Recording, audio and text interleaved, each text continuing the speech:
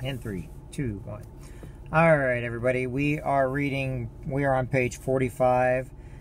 Uh, the Higher Performance Habits by Brendon Burchard.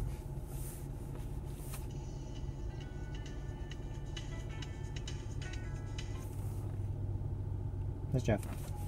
Hello?